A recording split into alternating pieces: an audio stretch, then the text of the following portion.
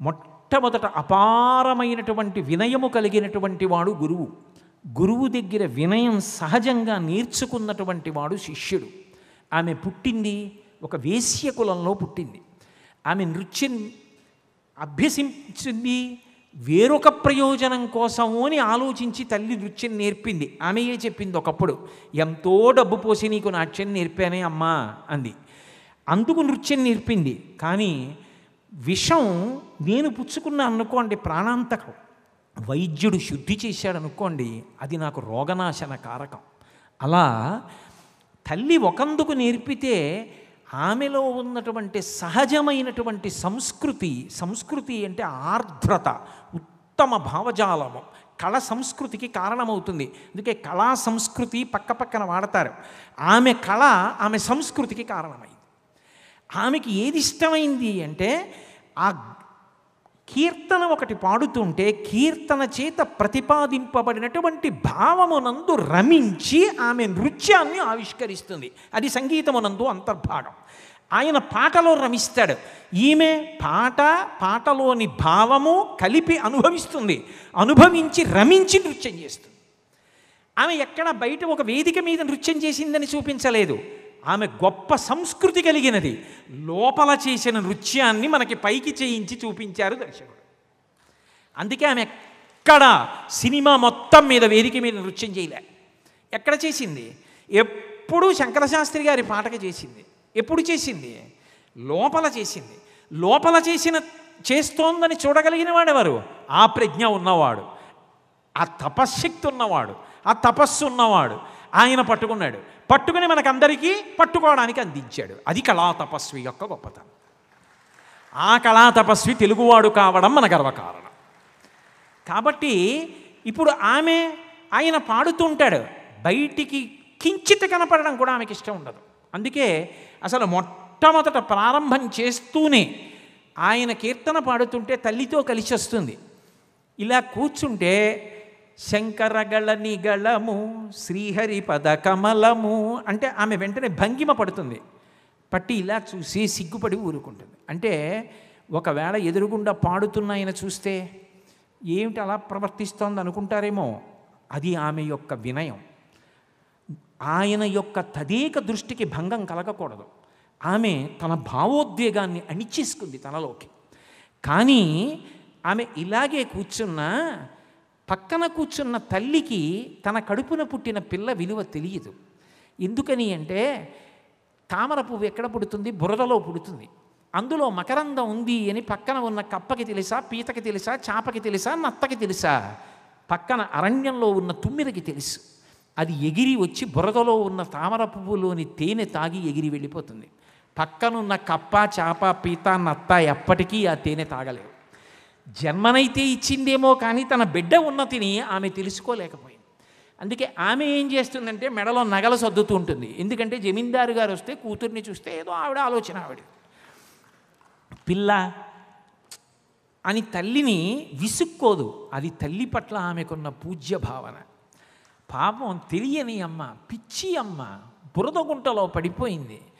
పిచ్చి తల్లి ఎప్పుడు ధరింపబడుతుందో అది ఎక్కడ కళ పండిందో అక్కడ ఆ ఆర్ద్రత ఉంటుంది. ఆర్ద్రత అంటే మీకు బాగా అర్థం అవ్వాలంటే బీయింగ్ వెట్ అంటారు. బీయింగ్ వెట్ అంటే తడి. అంటే తనకన్నా గొప్పవారు కనపడితే వెంటనే నమస్కారం చేస్తాడు ఎంత సాధన చేస్తే ఇంతవారయ్యారు. తనతో సమానులు కనపడితే నాతో నాలా ఎంత సాధన చేస్తే ఇంతవాడయ్యాడో. తనకన్నా హీనులు కనపడితే వాళ్ళు వృద్ధిలోకి రావాలని ప్రేమతో భావన చేస్తాడు తప్ప కింద పడిపోయారని ఈసడించడు. అది సంస్కృతి అది తడి మనసుకి. అది ఉంది పిల్లకి అది లేదు తల్లికి. కాబట్టి తల్లిని ఈసడించదు. ఆమె ఈయన ఏం పాడుతున్నాడో ఆ పాట ఎక్కడో పాడదు. దానికి తగినటువంటి భంగిమని అంత పూజ్య భావనతో ఆమె సా సాహిత్యాన్ని పట్టుకుంది సుమా సంకేతం. అందుకే ఏదో శృతి లయలే జననీ జనకులు కాగా ఆ పాటలు విని విని అది పాటలా వస్తుంది నాకు కూడా నాకు పాటలు రాకపోయినా. శృతి లయలే జననీ జనకులు కాగా. అంటే ఎవరు జననీ జనకులు? వాళ్ళమ్మ నాన్న? లక్ష్మీనారాయణలా? ఎవరు జననీ జనకులు? వేటూరు సుందరరామూర్తి గారు చెప్పలేదు. ఆయన చెప్పని దాన్ని ఈయన పూర్ణ చేస్తారు. అది ఆయన ప్రజ్ఞ. ఇది ఈయన ప్రజ్ఞ. లోకానికి తల్లిదండ్రులు అంటే మొట్టమొదటి తల్లిదండ్రులు పార్వతీ పరమేశ్వరులు. అందుకే వాగర్ధ వివ సంపృక్తం వాగర్ధ ప్రతిపత్తయే జగతపితరౌ వందే పార్వతీ పరమేశ్వరౌ. సత్యాయ త్రిగుణాత్మనే పురజితే కాత్యాయని శ్రేయసే సత్యాయాద్య కుటుంబినే మునిమన ప్రత్యక్ష చిన్మూర్తయే అంటారు శంకర భగవత్పాదులు. ఆద్య కుటుంబిని మొట్ట మొట్టమొదట లోకమునకు తల్లిదండ్రులు ఎవరంటే పార్వతీ పరమేశ్వరులు. అందుకే శృతిలయలే జననీ జనకులు కాగా అంటే వామదేవమూర్తిని చూపిస్తారు. ఇలా కాలేసి కూర్చుంటే ఎడం పక్కన పార్వతీదేవితో గోడ మీద గుడి వెనకాతల చెక్కబడిన విగ్రహాల్ని చూపిస్తారు. ఆ దేవాలయాల మీద ఆవిడ చిత్రం. పాటలో ఏది సాహిత్యం ప్రతిపాదింపబడిందో అదే పాట వెనకాల కనపడుతుంటుంది కచేరీ అయిపోతుంటుంది ఈమె లోపల చేస్తున్న నృత్యం అయిపోతుంటుంది విశ్వనాథ్ గారు చూపిస్తున్న నృత్యం కనబడుతుంటుంది. ఏకకాలమునందు తాడు పేనేరు. ఒక చరణం థాయిలాండ్లో ఓ చరణం ఇండియాలో కాదు. ఒక్క వేదిక మీద ఈ దేశంలో ఈ రాష్ట్రంలో ఈ భాషలో ఇంత గొప్పగా. ఇంత లేకి దేశం కాదని నిరూపించారు. కాబట్టి శృతిలయలే జననీ జనకులు కాగా భావాల రాగాల తాళాల తేలి. ఆమె భావాల రాగాల తాళాల తేలిపోయింది. తేలిపోతోంది శిష్యురాలు. ఆమె గురువుని ఉపాసన చేస్తోంది. అది హీనకామం కాదు. ఆమె ఆయనలోని యో- శరీరంలో ఉన్న పటుత్వాన్ని చూడలేదు ఆయనకి భార్య లేదన్న విషయాన్ని చూడలేదు ఆయనకి ఇంతకు ముందు స్త్రీ సుఖం తెలియనివాడు కాదన్న విషయం తెలియనిది కాదు. ఎందుకంటే కూతురుంది. భార్య వెళ్ళిపోయింది. కాబట్టి నేను చేరవచ్చన్న లీకి బుద్ధి ఉండడానికి అవకాశం ఉన్న వేశ్యకులంలో పుట్టిన పిల్లకి ఈషన్ మాత్రం కూడా అది లేకుండా ఆయనని ఉపాసన చేసి నృత్యం చేస్తోంది లోపల. అంటే అసలు ఆమె లోపల చేస్తున్నటువంటిది అజప తాండవం చేస్తోంది. ఆమె ఎంత ఎదిగిపోతోందో శిష్యురాలిగా. ఏం అద్భుతం అసలు ఆ సినిమా. ఎలా తీశారు అసలు ఆ సినిమాని? అసలు ఎలా ఊహ చేశారు? ఇలా తీయచ్చని ఎలా పేనారు దాన్ని? నాకు ఇప్పటికీ ఆశ్చర్యం. ఆయనకి పేరడానికి నిద్ర పట్టిందో లేదో నాకు దాని గురించి ఆలోచిస్తే నిద్ర పట్టదు. అసలు ఇలా ఎలా ఎక్కించారా అనిపిస్తుంది. కాబట్టి ఆ పిల్ల అంత ఉపాసన చేస్తోంది. ఆమె తులసి ఆమెకి గురువు పట్ల అంత గౌరవం ఆమెకి అంత గౌరవం అంత ఆర్ద్రత కలిగినటువంటి స్త్రీకి తన శీలం పట్ల కూడా అంతే నిబద్ధత ఉంటుంది. అది తెలియదు తల్లికి. ఆమె తల్లితో దెబ్బలాడలేదు. నేను ఆ సినిమా అటువంటి సందర్భాల గురించి పెద్ద ప్రస్తావన చెయ్యక్కర్లేదు. తల్లి చెయ్యరాని పని చేసింది. విటుడికి పిల్లను అప్పజెప్పాలనుకుంది. కానీ ఆమె ఇక ఈ ఇంట ఉండడం క్షేమం కాదని వెళ్ళిపోయింది. శంకరశాస్త్రి గారు ఆ పెట్టెలో ఉన్నారని ఆమె ఎక్కలేదు. వెళ్ళిపోతున్న రైలులో ఎక్కడం వినా తన శీలరక్షణకి మార్గం లేదని ఎక్కింది. తీరా ఎక్కి నిలబడిన తరువాత చేతులు కడుక్కొని బయటికి మరుగుదొడ్లోంచి ఫస్ట్ క్లాస్ కంపార్ట్మెంట్లో వచ్చి శంకరశాస్త్రి గారు ఉన్నారు అక్కడ. వాళ్ళు ఆయన ఇలా చూశారు. ఆ చూపులో అసహ్యత లేదు. ఒక గురువుకు ఉండవలసిన గొప్పతనం ఏమిటంటే గత చరిత్రతో సంబంధం లేదు.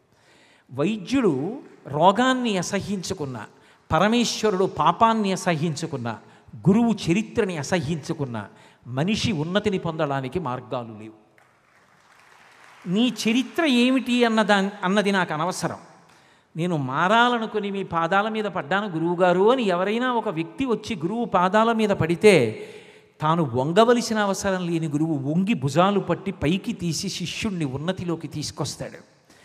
అందుకే ఒక తల్లి ప్రేమ కళ్ళల్లో ఎలా కనపడుతుందో రాశీభూతమైన గురుత్వము ఆయన యొక్క కళ్ళల్లో అలా కనపడుతుంది. రామకృష్ణ పరమహంస అంటారు ఒక పక్షి గుడ్డుని పొదుగుతూ ఉంటుంది. గుడ్డుని పొదుగుతున్నటువంటి పక్షి బొమ్మ గీయగలమేమో అది ఒక గుడ్డని పెంకుందని పెంకు లోపల పిండం ఉందని ఆ పిండం తన యొక్క కడుపు వేడికి తగిలి పిల్లవుతుందని ఆ పిల్ల తనదని అది బయటికి వస్తే తనకి సంతోషమని తాను అమ్మనవుతానని తాను తెచ్చి చిన్న చిన్న ఆహారపు తునకలు అందిస్తే అది నోరు విప్పి తింటుందని అది తన మాతృత్వానికి పట్టాభిషేకమని ఆ పిట్టకి తెలుసా? తెలియకపోవడం లేదు. గుడ్డు పగిలిపోతుందని ఎగిరే పిట్ట మెల్లిగా నడిచొచ్చి కడుపు మాత్రమే పెంకుకి తగిలేటట్టుగా వంగి కడుపు వేడి పెంకుకి తగిలి పెంకు వేడి పిండానికి తగిలి పిండం పొదగబడి పిల్ల అవుతుంటే ఆ లోపల ఉన్న పిండం కదులుతుంటే కదలికలని పెంకు ద్వారా తన కడుపు చేత మళ్ళీ గ్రహించి నేను అమ్మనవుతున్నానన్న సంతోషంతో కళ్ళు మూసుకున్నటువంటి పిట్ట మనసులోని ఆనందాన్ని గీయగలిగిన చిత్రకారుడు దేశంలో ఉంటాడా? బొమ్మ గీయగలడేమో అంటారు రామకృష్ణ పరమహంస. ఒక నటుడి చేత సన్నివేశం ఇది అని చెప్పగలరేమో. ఒక గురువు ఎలా చూస్తాడో అలా చూసేటట్టు చేయగలడా ఒక దర్శకుడు? అది విశ్వనాథ్ గారికి దక్కింది పాదాభివందనం ఆయనకి. మహానుభావుడు ఆ శంకరశాస్త్రి గారు స్నానాల గదిలోంచి వచ్చి ఏమీ అనరు. ఎంత పవిత్రంగా చూస్తాడు. ఆ సీతమ్మ రావణుని వంక చూసినప్పుడు మహర్షి ఒక మాట అంటారు శుచిస్మిత శుద్ధమైన నవ్వు నవ్విందంటారు. అంత శుద్ధంగా నవ్వుతాడు. ఆమె కూడా అంత శుద్ధంగా ఆయన వంక చూస్తుంది. ఏం జరిగింది? నీకు తెలియదా? మళ్ళీ వాడు మాట్లాడుకుంటే వినాలా? చిర్విత చరణం అనవసరం అసలు ఎన్నో మాటలతో చెప్పవలసింది మౌనంతో చెప్పడం చాలా గొప్ప. భాష కన్నా మౌన భాష చాలా గొప్పదని చెప్పడానికి మౌనమే అక్కడ. అంటే ఎన్నో మాటలు ఉండవలసిన చోట ఏ మాటలు లేకుండా కథ నడిపించగలిగిన ప్రజ్ఞ. ఇలా మారేటప్పటికీ ఆయన దిగారు వెనకాతల ఆవిడ దిగిందంతే. ఆమెలోని పవిత్రతని చూశాడంతే ఆయన. అన్నాడు తనతో రమ్మన్నాడు. అన్నాడు తంబురా పట్టుకోమన్నాడు. ఆయన చూసింది శిష్యురాల్ని చూశాడు. ఆమె ఆర్తిని చూశాడు. ఆమె ఏ కుటుంబంలోది తన పరువు ఏమైపోతుందని ఆయన చూడలేదు. అది గురువు. ఈమె శిష్యురాలు. ఒక శిష్యురాలికి ఉండవలసినటువంటి ఉదాత్త లక్షణాన్ని చూపించారు. అంత సత్వగుణ సంపన్నురాలు పిచ్చి తల్లి పరమపరవశాన్ని పొందుతోంది. ఏకలవ్యుళ్ళ ఊయలలో పెట్టుకుంది గురువుగారి యొక్క మూర్తిని ఫోటోని. గ్రామ్ ఫోను పాడుతోంది వింటోంది. ఎంత సంతోషపడిపోతోందో అందుకే అసలు పాటలో లేనిది ఈమె వింటున్నప్పుడో మాట వచ్చింది. ఆ అంటుంది మధ్యలో. అంటే ఆమె పారవస్య చిహ్నంగా ఆ పాటనే పాడేస్తుంటే ఆమె పరవశించిందన్న ఎలా? అందుకని అసలు పాటలో లేని ఒక్క విషయాన్ని తీసుకొచ్చారు. ఆ అంటుంది మధ్యలో. అబ్బా! హే భగవన్ ఎంత బాగా పాడారండి. ఏమి ఉపాసనండి. ఎంత లోపల రమించిపోతున్నారు ఆ భావంలో? అందుకే సస్యకేదారాల సరసగాంధారాలు అంటే ఆ పచ్చగడ్డి. పచ్చగడ్డి పరకలలో ఉన్న ఆకుపచ్చతనంలో ఉన్న పరబ్రహ్మం ఆ కదలికలలో ఉన్నటువంటి ఈశ్వరుడు. అది చూస్తున్నాడు ఆయన ఆ పాట పాడేటప్పుడు. నమో హరికేశాయోపవీతిని పుష్టానాం పతయే నమో నమో అంటుందే రుద్రాధ్యాయం. అలా సస్యకేదారాల సరసగాంధారాలు. అలాగే ఆ కృష్ణవేణి తరంగిణి భక్తి గీతాలు ఆ మహానుభావుడు కృష్ణలీలా తరంగిణి భక్తి గీతాలు నారాయణ తీర్థుల వారు గుంటూరు దగ్గర కాజాలోనే ఉండేవారు. కృష్ణలీలా తరంగిణి భక్తి గీతాలు అంటే పైకి చెప్పకుండా పేర్లు. నారాయణ తీర్థుల వారు ఆ కృష్ణా తీరంలోనే రచించినటువంటి గీతాలు. నిజంగా క్షీరసాగర శయన దేవగాంధారిలో. క్షీరసాగర శయన అంటూ దేవగాంధారిలో కీర్తన చేయబడినటువంటి ప్రదేశాలు. ఆంధ్రభోజుడి దేవాలయం కృష్ణా పరిసర ప్రాంతాలలో ఉన్నటువంటి కవులు వాళ్ళ ఔన్నత్యం అక్కడ ఉన్నటువంటి నీరు దాని అద్భుతం ఆ నదీ ప్రవాహం యొక్క విశేషం. అసలు మన రాష్ట్రం మన నది మన పంట మన పంటలో ఉన్న పరమేశ్వరుడు ఆకుపచ్చతనం కాంతి కవులు వాళ్ళ కీర్తనలు వాళ్ళ ఉపాసనలు ఇవన్నీ ఆయన రమించిపోయి పాడుతుంటే ఆమె లోపల రమించి నృత్యం చేస్తుంటే లోపల రమించి నృత్యం చేస్తున్న దాన్ని పైన చూపిస్తూ పాట ఆపకుండా వెనక పాడుతుంటే ఈమె నృత్యం అయిపోయి ఇలాగే కూర్చునుంటే మన్ని తీసుకెళ్ళి కచేరీలో శంకరశాస్త్రి గారి దగ్గర నిలబెట్టిన విశ్వనాథ గారి యొక్క ప్రతిభకి అద్భుతం అనకుండా నేను ఇంకేమనగలను. బట్టి ఆమె అంతటి అద్భుతమూర్తి. అటువంటి తల్లి పట్ల చేయరాని పని చేశాడు దుర్మార్గుడు. అయినా ఆమె ఎందు ఉద్వేగం కనపడలేదు. అది పశువు. దానికి అంతకన్నా సంస్కారం లేదు. లోకంలో మూర్ఖుడు మూఢుడు అని ఇద్దరు ఉంటారు. మూఢుడికి తెలియదు కానీ చెప్తే వింటాడు. మూర్ఖుడికి తెలియదు చెప్పినా వినడం. మూర్ఖుడికి చెప్పే ప్రయత్నం చేయకూడదు. మకర ముఖాంతరస్తమగు మానికమున్ పెకలింపవచ్చు. పాయక జలదూర్ణికానికరమైన బహోదది దాటవచ్చు. మస్తకమన పూదండవలె సర్పమునైన భరింపవచ్చు. చేరి మూర్ఖుల మనసు రంజింపరాదు. అన్నీ తెలిసి తెలియని వాడిలా మాట్లాడేటటువంటి పరమ దుర్మార్గుడైనటువంటి మూర్ఖుడు ఉన్నాడే వాడికి జవాబు చెప్పకు. ఎందుకంటే వదరడం వాడి స్వభావం చెప్పకుండా నిలబడగలిగితేనే నీ పెద్దరికం. అందుకే చేరి మూర్ఖుల మనసు రంజింపరాదు. వాడు మూర్ఖుడు పశువు వాడికి అంతకన్నా తెలియదు. అది వాడి స్వాతంత్ర్యం కాదు. తన కన్న తల్లి చేసినటువంటి దాష్టీకం. ఆమె సర్దుకుంది ఊరుకుంది. అప్పుడు కూడా ఆమె ఆగ్రహించినట్టు కనపడలేదు. తన ప్రాణం కన్నా గొప్పదైన శీలమే పోయినా ఆమె సత్వగుణాన్ని ఆశ్రయించింది. కానీ వాడు బయటికి వచ్చి నా నోటితో కూడా మళ్ళీ నాకు ఉచ్చరించడానికి ఇష్టం లేదు. ఈ సంగీతం పంతులా అని కాల్తో ఒక్క తన్ను తన్నాడు ఫోటోని. అది వెళ్ళి దూరంగా పడిపోయి బద్దలైపోయింది. ఆమె వెంటనే కోపంతో లేవలేదు. ఆమె ఎంత ఆలోచించింది.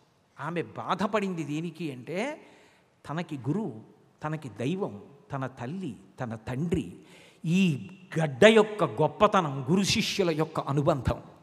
నా గురువు మూర్తిని కాలుతో తన్నడం అంటే నా గురువుని తన్నడం. ఏ గురువుని కాలుతో తన్నావో ఆ గురువు యొక్క పాదములకు నీ రక్తంతో కడిగి తప్ప రుణం తీర్చుకోలేదు.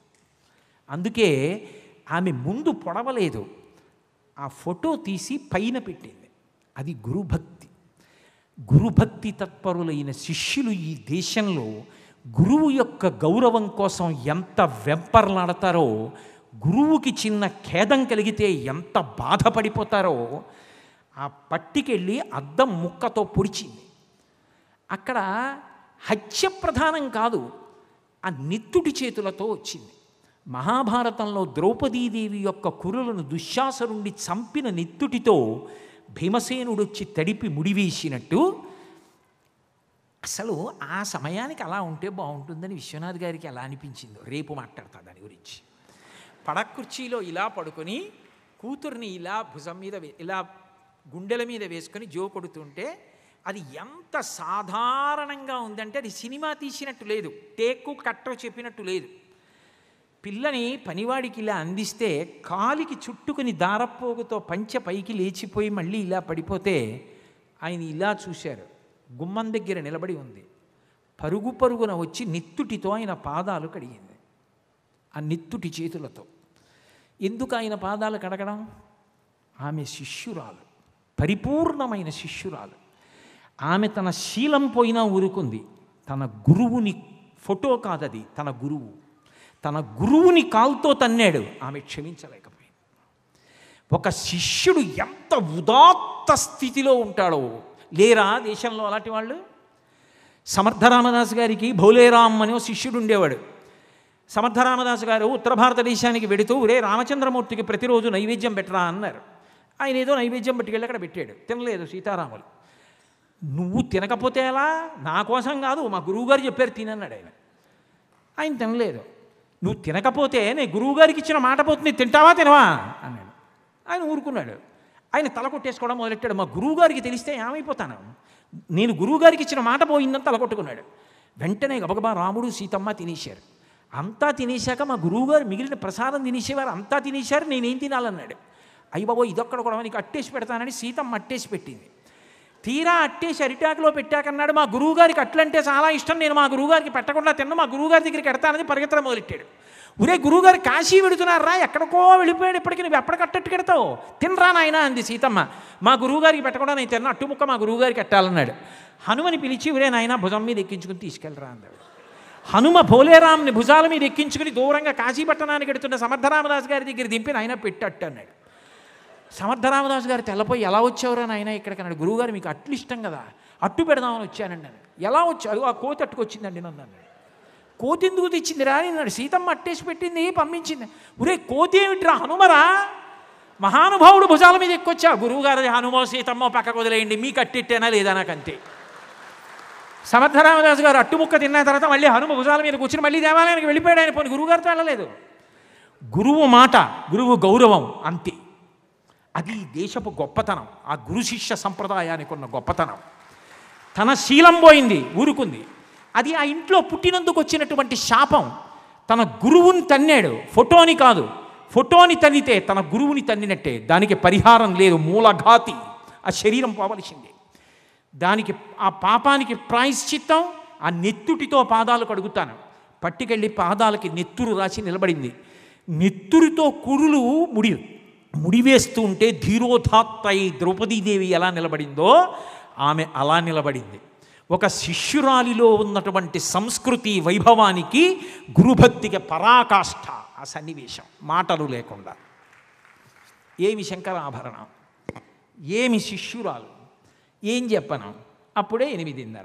కాబట్టి అసలు ఆ శిష్యురాలి వైభవం ఏమిటో ఆ గురువు వైభవం ఏమిటో ఆ శంకరాభరణం ఏమిటో అసలు ఆ మాధుర్యం ఏమిటో మళ్ళీ రేపు కొంత అనుభవిద్దాం. మళ్ళీ రేపు సాయంకాలం ఆరు గంటల ముప్పై నిమిషాలకి తిరిగి కలుసుకున్నప్పుడు పరమేశ్వరుడు పలికించినంత మేర ఈ ప్రవచనాన్ని కొనసాగిస్తాను. మంగళాశాసన పరై మదాచార్య పురోగమై సర్వైశ్య పూర్వైరాచార్యై సత్కృతాయాస్తు మంగళం. మంగళం కోసలేంద్రాయ మహనీయ గుణాత్మనే చక్రవర్తి తనూజాయ సర్వభౌమాయ మంగళం. உமாகாந்தாய காந்தாய காமிதார்த்தப்பிரதாயினி ஸ்ரீகிரீஷாய தேவாய மலிநாதாய மங்களம். சர்வம் ஸ்ரீ உமாமகேஸ்வர பரபிரம்மார்ப்பணமஸ்து. ஸ்வஸ்தி.